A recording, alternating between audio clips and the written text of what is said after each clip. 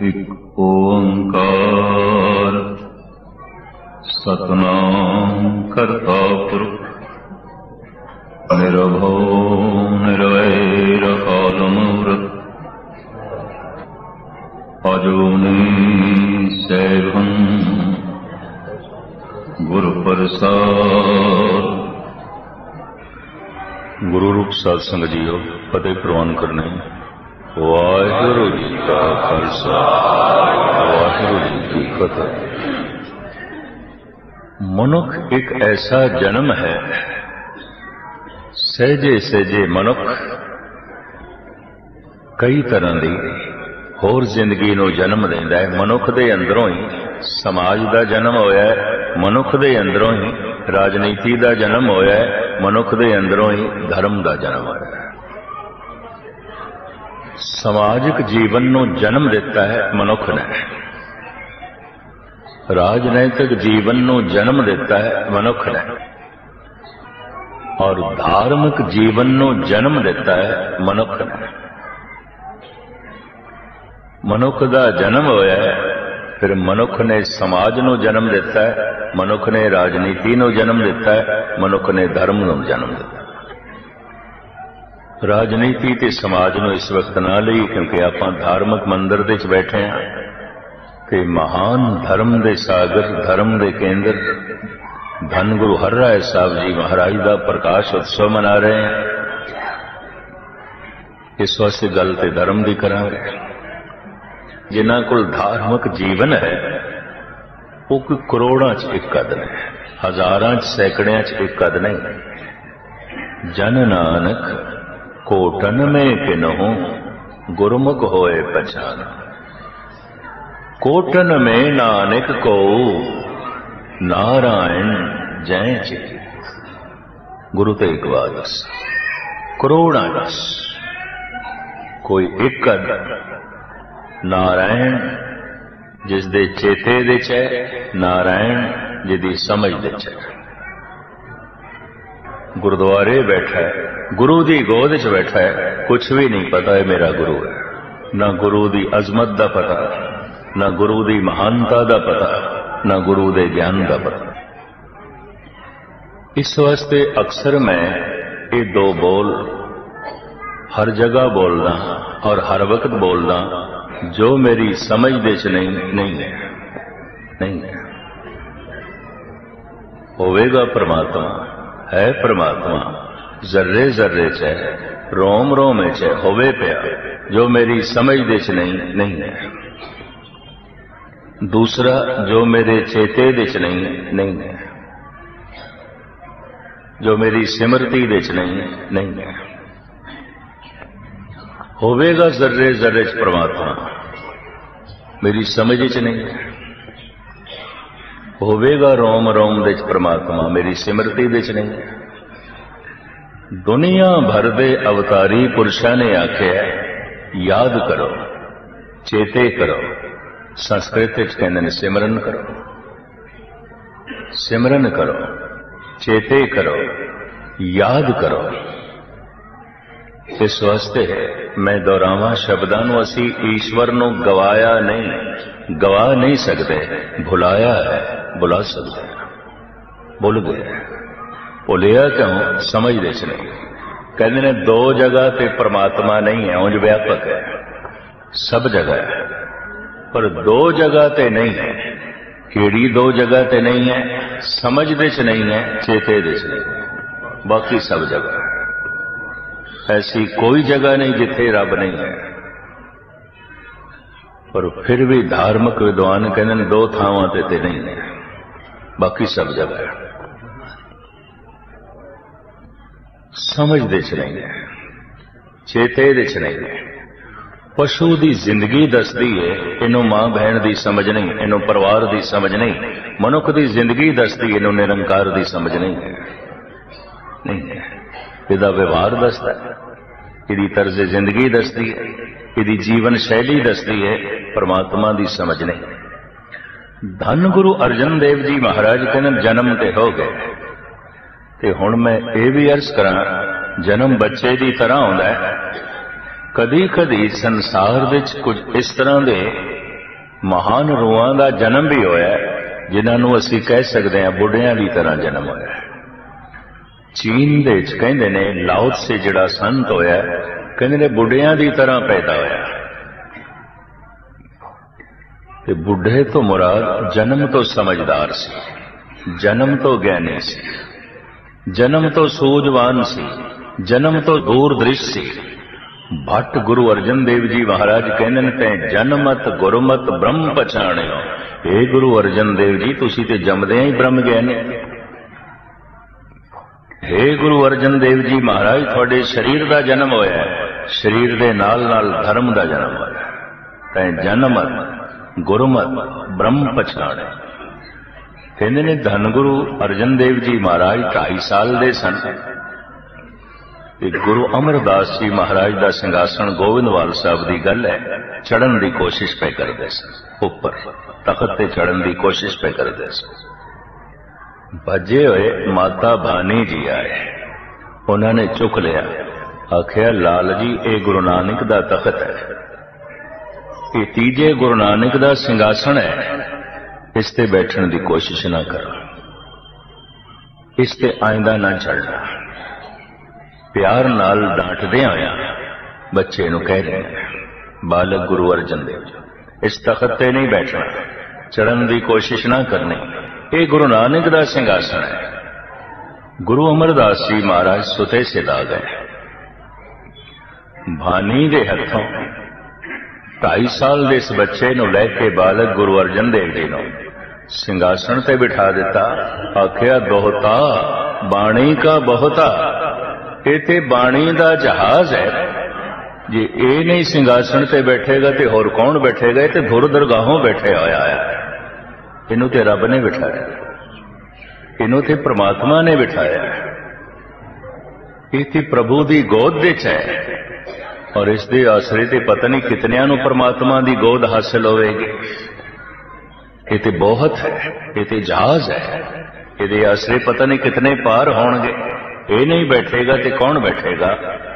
ਜਨਮ ਤੋਂ ਬਜ਼ੁਰਗ ਕੋਈ ਕਰੋੜਾਂ ਚ ਇੱਕ ਕਦ ਕਦੀ ਕਦੀ। ਜਨਮ ਸਾਰਿਆਂ ਦੇ ਬੱਚੇ ਦੀ ਤਰ੍ਹਾਂ ਸਰੀਰਕ ਤੌਰ ਤੇ ਵੀ ਬੱਚੇ, ਦਿਮਾਗੀ ਤੌਰ ਤੇ ਵੀ ਬੱਚੇ। ਨਾ ਸਮਝੀ ਕੁਝ ਵੀ ਪਤਾ ਨਹੀਂ। ਕਦੀ ਕਦਾਈ ਸੰਸਾਰ ਦੇ ਇਤਿਹਾਸ ਵਿੱਚ ਕੋਈ ਬੁੱਢਿਆਂ ਦੀ ਤਰ੍ਹਾਂ ਪੈਦਾ ਹੁੰਦਾ ਹੈ ਚੀਨ ਦੇ ਚ ਕਥਾ ਹੈ ਬਈ ਲਾਭ ਸੇ ਬੁੱਢਿਆਂ ਦੀ ਤਰ੍ਹਾਂ ਪੈਦਾ ਹੋਇਆ ਭਾਵ ਜਨਮ ਤੋਂ ਗਿਆਨੀ ਹੋ ਕਬੀਰ ਬਾਰੇ ਕਹਿੰਦੇ ਨੇ ਕਮਲ ਤੋਂ ਪੈਦਾ ਹੋਇਆ ਵਿਸ਼ਨੂੰ ਨੂੰ ਕਹਿੰਦੇ ਨੇ ਕਮਲ ਤੋਂ ਪੈਦਾ ਹੋਇਆ ਬ੍ਰਹਮੇ ਨੂੰ ਕਹਿੰਦੇ ਨੇ ਕਮਲ ਤੋਂ ਪੈਦਾ ਹੋਇਆ ਨਹੀਂ ਜਨਮ ਤੋਂ ਕਮਲ ਜੈਸੇ ਸਨ ਡੁੱਬੇ ਨਹੀਂ ਗਰਕ ਨਹੀਂ ਹੋਏ ਸਮਝ ਜੈਸੇ ਪਾਣੀ ਵਿੱਚ ਕਮਲ ਡੁੱਬਦਾ ਨਹੀਂ ਜਿਹੜੇ ਮਨੁੱਖ ਸੰਸਾਰ ਵਿੱਚ ਡੁੱਬਣ ਨਾ, ਪਦਾਰਥਾਂ ਵਿੱਚ ਡੁੱਬਣ ਨਾ, ਉਹ ਕਮਲ ਦੀ ਤਰ੍ਹਾਂ। ਹੁੰਦੇ ਤੇ ਡੁੱਬੇ ਹੋਏ ਨੇ, ਸਹਜੇ ਸਹਜੇ ਫਿਰ। ਤੈਰਨਾ ਤੇ ਨਿਰਲੇਪ ਹੋਣਾ ਸਿੱਖਦੇ ਨੇ, ਪਰ ਕੋਈ ਜਨਮ ਤੋਂ ਵੀ ਨਿਰਲੇਪ ਹੁੰਦਾ ਉਹਨਾਂ ਨੂੰ ਕਹਿੰਦੇ ਨੇ ਇਹਨਾਂ ਦਾ ਜਨਮ ਤੇ ਕਮਲ ਤੋਂ ਹੈ ਬਾਹੂ ਕਮਲ ਜੈਸੇ ਨੇ। ਕਮਲ ਡੁੱਬਦਾ ਨੇ। ਗੁਰੂ ਨਾਨਕ ਦੇਵ ਜੀ ਮਹਾਰਾਜ ਕਹਿੰਦੇ ਨੇ, ਹਮ ਦੇ ਖਾਂ ਤੈ ਡੁੱਬੇ ਆਏ ਪਹਿਲੇ ਪਾਤਸ਼ਾਹ ਜੀ ਦਾ ਵਾ ਮਹਾਰਾਜ ਕਹਿੰਦੇ ਮੈਂ ਤੇ ਦੇਖਦਾ, ਡੁੱਬੇ ਪਏ ਨੇ। ਡੁੱਬੇ ਪਏ ਨੇ। ਸੁਤੇ ਸਿੱਧ ਗੱਲ ਆ ਗਈ ਤਾਂ ਮੈਂ ਅਰਜ਼ ਕਰਾਂ, ਪਾਣੀ ਵਿੱਚ ਕੁੱਤੇ ਤੈਰਦੇ ਨੇ, ਗਊਆਂ ਵੀ ਤੈਰਦੀਆਂ ਨੇ, ਮੱਝਾਂ ਵੀ ਤੈਰਦੀਆਂ ਨੇ।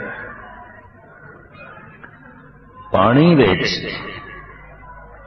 ਚੀਤੇ ਵੀ ਤੈਰ ਕੇ ਲੰਘ ਜਾਂਦੇ ਨੇ। ਮੈਂ ਕੇਰਲਾ ਵਿੱਚ ਦੇਖ ਕੇ ਦੰਗ ਹੋਇਆ ਸੀ, ਬਹੁਤ ਪੁਰਾਣੀ ਗੱਲ। 60 ਫੁੱਟ ਡੂੰਗਾ ਪਾਣੀ ਹਾਥੀ ਨਹਾਵੇ ਪਿਆ ਕਿ ਨਹਾ ਕੇ ਬਾਹਰ ਨਿਕਲਿਆ। ਹਾਥੀ ਤੈਰ ਰਹੇ ਪਹਾੜ ਵਰਗਾ ਸਰੀਰ ਤੈਰ ਰਹੇ ਹਾਥੀ ਤੈਰਦੇ ਨੇ। ਗਊਆਂ ਤੈਰਦੀਆਂ ਨੇ। ਘੋੜੇ ਤੈਰਦੇ ਨੇ। ਮੱਝਾਂ ਤੈਰਦੀਆਂ ਨੇ। ਕੁੱਤੇ ਤੈਰਦੇ ਨੇ। ਸ਼ੇਰ ਤੈਰਦੇ ਨੇ, ਚੀਤੇ ਤੈਰਦੇ ਨੇ, ਮਨੁੱਖ ਡੁੱਬਦੇ ਨੇ, ਬੰਦਾ ਡੁੱਬਦਾ। ਸਿਰਫ ਮਨੁੱਖ ਡੁੱਬਦਾ। ਕਿਆ ਪਾਣੀ ਦਾ ਮਨੁੱਖਾਂ ਨਾਲ ਵੈਰ ਮੱਝਾਂ ਤੇ ਤੈਰਦੇ ਨੇ ਕੋੜੇ ਤੇ ਤੈਰਦੇ ਨੇ, ਹਾਥੀ ਤੇ ਤੈਰਦੇ ਨੇ, ਗਊਆਂ ਤੇ ਤੈਰਦੀਆਂ ਨੇ, ਕੁੱਤੇ ਵੀ ਤੈਰਦੇ ਨੇ, ਬੰਦਾ ਡੁੱਬਦਾ। ਕਿਆ ਪਾਣੀ ਦਾ ਮਨੁੱਖਾਂ ਨਾਲ ਵਹਿਰ ਹੈ? ਨਹੀਂ। ਮਨੁੱਖ ਵੀ ਜ਼ਿੰਦਾ ਹੀ ਡੁੱਬਦਾ ਹੈ, ਮੁਰਦੇ ਤੇ ਤੈਰਦੇ ਨੇ ਤੈਰਦੇ ਮੁਰਦਾ ਤੇ ਤੈਰਦਾ ਯੂਪੀ ਦੇ ਅੰਦਰ, ਮੱਧ ਭਾਰਤ ਦੇ ਚ ਸਨਾਤਨ ਮਤ ਦੇ ਕੋਈ ਹਿੰਦੂ ਸੰਤ ਅਗਰ ਚਲਾਣਾ ਕਰ ਜਾਂਦਾ ਹੈ, ਦੇਹੀ ਛੱਡ ਜਾਂਦਾ ਹੈ, ਉਹਨੂੰ ਜਲ ਪ੍ਰਵਾਹ ਕਰਦੇ ਨੇ ਦਾਸ ਸੰਸਕਾਰ ਨਹੀਂ ਕਰਦੇ ਜਲ ਪ੍ਰਵਾਹ ਕਰਦੇ ਪਰ ਜਦ ਜਲ ਪ੍ਰਵਾਹ ਕਰਦੇ ਨੇ ਤੇ ਮਣ ਮਣ ਦੋ ਦੋ ਮਣ ਦੇ ਨਾਲ ਪੱਥਰ ਬਣਦੇ ਨੇ ਕਿਉਂ লাশ ਤੈਰਨ ਲੱਗ ਪੈਂਦੀ ਹਾਲਾਂਕਿ লাশ ਜ਼ਿੰਦਾ ਮਨੁੱਖ ਨਾਲੋਂ ਭਾਰੀ ਹੋ ਜਾਂਦੀ ਹੈ ਵਜ਼ਨ ਵੱਧ ਜਾਂਦਾ ਹੈ ਲੇਕਿਨ ਤੈਰਦੀ ਹੈ ਹੈਰਾਨਗੀ ਹੈ ਜ਼ਿੰਦਾ ਡੁੱਬਦੇ ਨੇ ਮੁਰਦੇ ਤੈਰਦੇ ਪਾਣੀ ਦਾ ਮਨੁੱਖ ਨਾਲ ਵੀ ਵੈਰ ਹੈ ਅਗਰ ਮਨੁੱਖ ਨਾਲ ਵੈਰ ਹੈ, ਤਾਂ ਫਿਰ ਮੁਰਦੇ ਵੀ ਡੁੱਬਣੇ ਚਾਹੀਦੇ ਸੀ। ਮੁਰਦਾ ਤੇ ਨਹੀਂ ਡੁੱਬਦਾ। ਜੀਵਦਾ ਮਨੁੱਖ ਕਿਉਂ ਡੁੱਬਦਾ ਹੈ? ਇਹ ਆਪਣਾ ਬੈਲੈਂਸ ਵਿਗਾੜ ਬੈਠਦਾ ਹੈ, ਤਵਾਜ਼ਨ ਖੋ ਬੈਠਦਾ ਹੈ, ਸੰਤੁਲਨ ਗਵਾ ਬੈਠਦਾ ਤਾਂ ਡੁੱਬਦਾ ਹੈ। ਲੋਕ ਇਸ ਦਾ ਤਵਾਜ਼ਨ ਡਾਵਾਡੋਲ ਕਰ ਦਿੰਦਾ ਹੈ। ਸੀਮਾ ਤੋਂ ਵਧਿਆ ਹੋਇਆ ਹੰਕਾਰ ਇਸ ਦਾ ਬੈਲੈਂਸ ਵਿਗਾੜ ਦਿੰਦਾ ਹੈ। ਸੀਮਾ ਤੋਂ ਵਧੀ ਹੋਈ ਵਾਸ਼ਨਾ ਇਹਦਾ ਸੰਤੁਲਨ ਡਾਵਾਡੋਲ ਕਰ ਦਿੰਦਾ ਡੁੱਬ ਜਾਂਦਾ ਹੈ। ਹਮ ਦੇ ਖਾਂ ਤੈ ਡੁੱਬੇ ਆਇਆ ਇਹ ਡੁੱਬ ਗਿਆ ਡੁੱਬੇ ਦੀ ਪਹਿਚਾਣ ਕੀ ਹੋਵੇਗੀ? ਉਹਦਾ ਨਿਤਨੇਮ ਡੁੱਬ ਗਿਆ ਹੋਵੇਗਾ, ਨਹੀਂ ਕਰਦਾ ਹੋਵੇਗਾ। ਰਹਿਤ ਬੈ ਡੁੱਬ ਗਈ ਹੋਵੇਗੀ।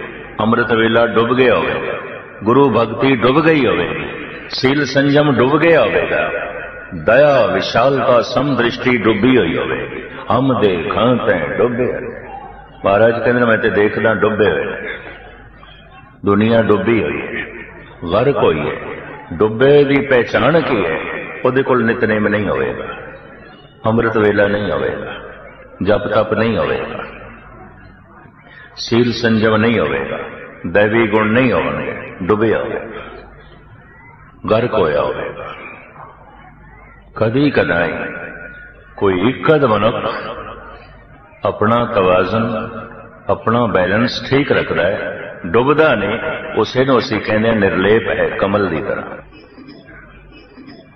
ਪਾਣੀ ਵੱਧਦਾ ਹੈ, ਕਮਲ ਹੋਰ ਉੱਪਰ ਉੱਠਦਾ ਹੈ। ਧਨ ਘਰ ਦੇ ਚ ਵਧ ਰਿਹਾ ਡੁੱਬਦਾ ਨਹੀਂ ਪਿਆ। ਪ੍ਰਭਤਾ ਵਧ ਰਹੀ ਹੈ, ਡੁੱਬਦਾ ਨਹੀਂ ਪਿਆ। ਨਹੀਂ ਤੇ ਕੋਈ ਪ੍ਰਭਤਾ ਚ ਡੁੱਬੇ ਹੋਏ ਨੇ, ਕੋਈ ਧਨ ਸੰਪਦਾ ਦੇ ਡੁੱਬੇ ਹੋਏ ਨੇ, ਕੋਈ ਰੂਪ ਰੰਗ ਦੇ ਡੁੱਬੇ ਹਮ ਦੇ ਖਾਂ ਤੈ ਡੁੱਬੇ ਮਹਾਰਾਜ ਕਹਿੰਦੇ ਮੈਂ ਦੇਖਦਾ ਦੁਨੀਆ ਤੇ ਡੁੱਬੀ ਪਈ ਧਾਰਮਿਕ ਜੀਵਨ ਤੇ ਕੁਝ ਗੁਣਾ ਦੇ ਖੜਾ ਹੈ। ਸੂਰਜ ਆਪਣਾ ਨੂਰ ਵੰਡਦਾ ਹੈ, ਸੰਸਾਰ ਦੇ ਵਿੱਚ ਕਿਰਨਾਂ ਦੇ ਰਾਹੀਂ। ਪਰਮਾਤਮਾ ਦਾ ਪ੍ਰਕਾਸ਼ ਹਿਰਦੇ 'ਚ ਪਹੁੰਚਦਾ ਹੈ, ਗੁਣਾ ਦੇ ਰਾਹੀਂ।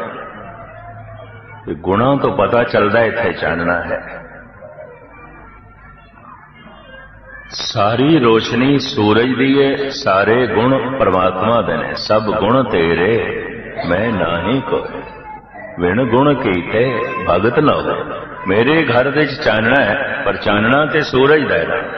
ਮੇਰਾ ਤੇ ਅਗਰ ਹਿਰਦੇ ਵਿੱਚ ਗੁਣ ਆ ਜਾਣ, ਗੁਣ ਪਰਮਾਤਮਾ ਦੇ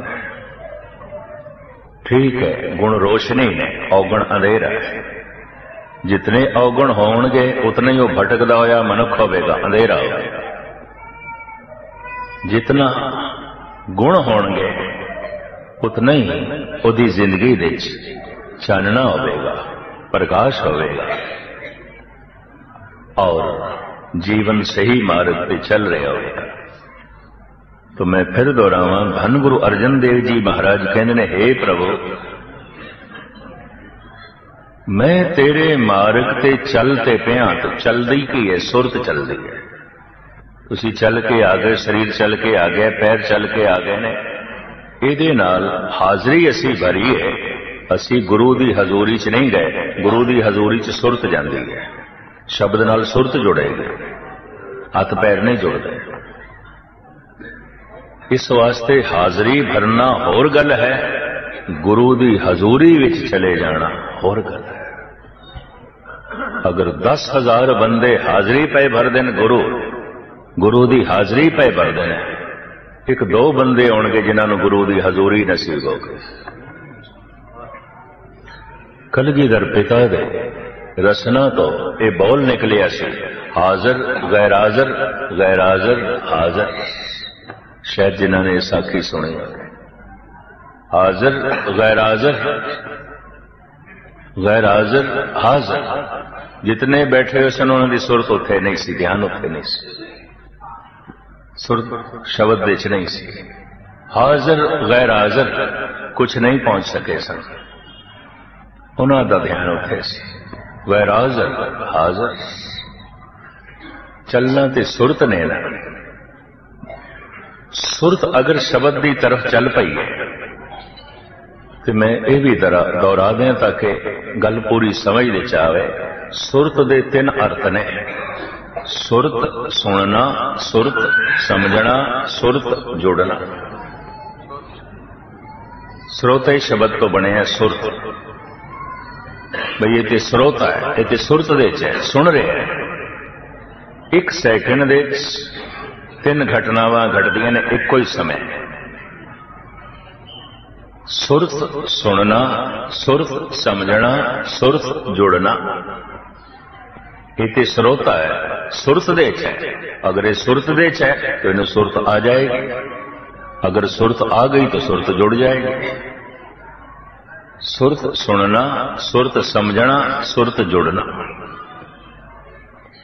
ਇਹ ਤਿੰਨ ਘਟਨਾਵਾਂ ਇੱਕ ਸੈਕਿੰਡ ਦੇ ਵਿੱਚ ਘਟਦੀਆਂ ਨੇ। ਜਿਸ ਵਕਤ ਮਨੁੱਖ ਸੁਣਦਾ ਹੈ, ਉਸੇ ਵਕਤ ਹੀ ਸਮਝ ਆ ਜਾਂਦੀ ਹੈ, ਉਸੇ ਵਕਤ ਹੀ ਜੁੜ ਜਾਂਦਾ ਹੈ। ਇਹ ਘਟਨਾ ਇੱਕ ਸੈਕਿੰਡ ਦੇ ਵਿੱਚ ਹੈ। ਇੱਕ ਸੈਕਿੰਡ ਦੇ ਵਿੱਚ ਘਟਦੀ ਇਧਰ ਜ਼ਬਾਨ ਨੇ ਆਖਿਆ, ਵਾਹਿਗੁਰੂ, ਇਧਰ ਮਨ ਨੇ ਸੁਣਿਆ। ਇਧਰ ਮਨ ਨੇ ਸੁਣਿਆ, ਇਧਰ ਮਨ ਨੂੰ ਸਮਝ ਆ ਗਈ। ਇਧਰ ਮਨ ਨੂੰ ਸਮਝ ਆਈ, ਮਨ ਸ਼ਬਦ ਦੇ ਚਲੀਨ ਹੋ ਗਿਆ, ਜੁੜ ਗਿਆ। ਮਨ ਤੋਂ ਜੋਤ ਸਰੂਪ ਹੈ, ਆਪਣਾ ਮੂਲ ਪਛਾਣ ਜੁੜ ਗਿਆ। ਜੋਤੀ, ਜੋਤ ਰਲੀ, ਸੰਪੂਰਨ ਇਹ ਜੋਤ ਦੇ ਜੋਤ ਹੋ ਗਈ ਜੀਵਨ ਯਾਤਰਾ ਸੰਪੂਰਨ ਹੋ ਗਈ। ਹੁੰਦੀ ਇੱਕ ਛਿੰਨ ਵਿੱਚ ਹੈ। ਨਿਰਮਾਣ ਕੀਰਤਨ ਗਾਵੋ ਕਰਤੇ ਕਾ ਨਿਮਕ, ਸਿਮਰਤ ਜਿਤ ਹੈ, ਨਿਮਕ। ਨਿਮਕ ਇੱਕ ਸੈਕਿੰਡ ਹੈ। ਇੱਕ ਚਿਤ ਜੈ ਇੱਕ ਛਿਨ ਤੇ ਆਇਓ ਕਾਲ ਫਾਸ ਕੇ ਵਿੱਚ ਨਾ ਆਇਓ। ਇੱਕ ਛਿਨ, ਇੱਕ ਨਿਮਕ, ਇਹਨੂੰ ਅਤ ਨਾ ਸਮਝ ਲੈਣਾ। ਕਿਸੇ ਕਮਰੇ ਵਿੱਚ 50 ਸਾਲ ਦਾ ਅੰਧੇਰਾ ਹੋਵੇ ਗੁੱਪ ਅੰਧੇਰਾ ਹੋਵੇ। ਉਸ ਅੰਧੇਰੇ ਨੂੰ ਕੱਢਣ ਵਾਸਤੇ 50 ਸਾਲ ਲੱਗਣਗੇ। ਨਹੀਂ, ਇੱਕ ਸੈਕਿੰਡ ਲੱਗੇਗਾ, ਬੱਤੀ ਜਲਾਈ ਦੇ ਗਿਆ ਜਨਮਾਂ ਜਨਮਾਂਤਰਾਂ ਦੇ ਪਾਪ, ਦੁੱਖ, ਸੰਤਾਪ ਤੇ ਅੰਧੇਰਾ, ਕਿ ਇਹਨੂੰ ਕੱਢਣ ਵਾਸਤੇ ਕਈ ਜਨਮ ਲੱਗਣਗੇ। ਨਹੀਂ, ਇੱਕ ਸੈਕਿੰਡ ਲੱਗੇਗਾ। ਟੁਕ ਦਮ ਕਰਾਰੀ ਜੋ ਕਰੋ। ਹਾਜ਼ਰ ਹਜ਼ੂਰ ਖੁਦਾ ਇੱਕ ਦਮ ਦੇ ਟਿਕ ਜਾਓ ਖੁਦਾ ਹਾਜ਼ਰ। ਨਾਜ਼ਰ ਤੇ ਇੱਕ ਦਮ ਹੀ ਅੱਜ ਹੈ, ਬਾਬਾ ਫਰੀਦ ਕਹਿੰਦੇ ਨੇ, ਆਜ ਮਿਲਾਵਾ ਸ਼ੇਖ ਫਰੀਦ, ਤਾਕਮ ਗੂੰਜਣੀਆਂ, ਮਨੋ ਮਚਿੰਦਰੀਆਂ। ਮੈਂ ਪਾਣੀ ਹੁਣ ਪੀਵਾਂ, ਪਿਆਸ ਕੱਲ ਮਿਟੇਗੀ ਕਿ ਹੁਣੇ ਮਿਟਦੀ। ਮੈਂ ਭੋਜਨ ਹੁਣ ਛਕਾਂ ਹੁਣੇ ਭੁੱਖ ਮਿਟਦੀ ਹੈ ਜਾਂ ਮਹੀਨੇ ਬਾਅਦ ਮਿਟਦੀ ਹੈ ਮੈਂ ਨਾਮ ਹੁਣ ਜਪਾਂ, ਫਲ ਅਗਲੇ ਜਨਮ ਵਿੱਚ ਮਿਲੇਗਾ। ਸਾਲ 2 ਸਾਲ ਬਾਅਦ ਮਿਲੇਗਾ, ਇਹਨਾਂ ਗੱਲਾਂ ਨੇ ਮਨੁੱਖ ਨੂੰ ਨਿਰਾਸ਼ ਕੀਤਾ ਹੋਇਆ। ਇਹ ਵੀ ਮੈਂ ਅਰਜ਼ ਕਰਾਂ। ਐਸੀ ਗੱਲ ਨਹੀਂ ਹੈ। ਐ ਕਰ ਕਰੇ ਸੋ ਐ ਕਰ ਪਾਏ ਮਹਾਰਾਜ ਦਾ। ਤਤ ਛੇ। ਟੁਕਦਮ ਕਰਾਰੀ ਜੋ ਕਰੋ। ਇੱਕ ਦਮ ਵਿੱਚ ਕਿਧਰੇ ਟਿਕ ਜਾਓ ਹਾਜ਼ਰ ਹਜ਼ੂਰ ਖੁਦਾ ਹੈ ਮੈਂ ਪਾਣੀ ਹੁਣ ਪੀਵਾਂ ਤੇ ਪਿਆਸ ਮਹੀਨੇ ਬਾਅਦ ਮਿਟੇਗੀ ਮੈਂ ਰੋਟੀ ਹੁਣ ਖਾਵਾਂ ਤੇ ਭੁੱਖ ਕੱਲ ਮਿਟੇਗੀ ਲੋਕੀ ਕਹਿੰਦੇ ਨੇ ਕੋਈ ਨਹੀਂ ਸਹਜੇ ਸਹਜੇ ਹੋ ਜਾਏਗਾ ਗਾਸੀ ਲੱਗ ਜਾਂਦੀ ਹੌਲੇ ਹੌਲੇ ਬੰਦੇ ਨੂੰ ਤਾਕ ਚੜਿਆ ਹੋਵੇ ਬੜਾ ਜ਼ੋਰ ਦਾ ਤੇ ਉਹ ਡਾਕਟਰ ਨੂੰ ਕਹਿੰਦਾ ਜਰਾ ਹੌਲੇ ਹੌਲੇ ਬੁਖਾਰ ਮੇਰਾ ਉਤਾਰੇ ਮਹੀਨਾ, ਦੋ ਮਹੀਨਾ ਤੜਪਦਾ ਰਹਾ। ਕਹਿੰਦਾ ਛੇਤੀ ਕਰ। ਜਲਦੀ ਠੀਕ ਕਰ। ਵਿਕਾਰਾਂ ਦਾ ਅਗਿਆਨਤਾ ਦਾ ਤਾਪ ਮਨ ਨੂੰ ਚੜਿਆ ਹੋਇਆ ਹੌਲੇ ਹੌਲੇ ਹੋ ਜਾਏਗਾ। ਆਹਿਸਤਾ ਆਹਿਸਤਾ ਹੋ ਜਾਏਗਾ ਕਿ ਠੀਕ ਨਹੀਂ ਹੋਣਾ ਚਾਹੁੰਦਾ। ਇਹ ਰੋਗੀ ਰੋਗ ਨਾਲ ਵੀ ਮੋਹ ਕਰ ਬੈਠਾ ਹੈ। ਮਨੋ ਐਸਾ ਕਹਿੰਦਾ, ਲੰਬੀ ਬਿਮਾਰੀ ਦੇ ਜੀਣ ਵਾਲੇ ਮਰੀਜ਼ ਬਿਮਾਰੀ ਨਾਲ ਸਹਿਮਤ ਹੋ ਕੇ ਜੀਵਦੇ ਨੇ ਔਰ ਨਿਰਾਸ਼ ਹੋ ਜਾਂਦੇ ਨੇ ਵੀ ਠੀਕ ਨਹੀਂ ਹੋਵਾਂਗੇ। ਕੋਈ ਦੱਸੇ ਵੀ ਸਹੀ ਉਹਨਾਂ ਨੂੰ, ਇਹ ਦਵਾਈ ਲੈ ਲਓ, ਇਹ ਦਵਾਈ ਲੈ ਲਓ। ਉਹਨਾਂ ਦੇ ਅੰਦਰ ਨਿਰਾਸ਼ਾ ਹੈ। ਰੋਗ ਦੇ ਜੀਣ ਦੀ ਆਦਤ ਬਣ ਗਈ। ਵਿਕਾਰਾਂ ਦੇ ਜੀਣ ਦਾ ਸੁਭਾਅ ਬਣ ਗਿਆ। ਹੁਣ ਠੀਕ ਹੋਣ ਦਾ ਖਿਆਲ ਵੀ ਨਹੀਂ। ਔਰ ਠੀਕ ਹੋ ਸਕਾਂਗੇ ਐਸਾ ਭਰੋਸਾ ਵੀ ਨਹੀਂ ਪਾਈ ਨਹੀਂ ਠੀਕ ਹੋ ਸਕਾਂਗੇ।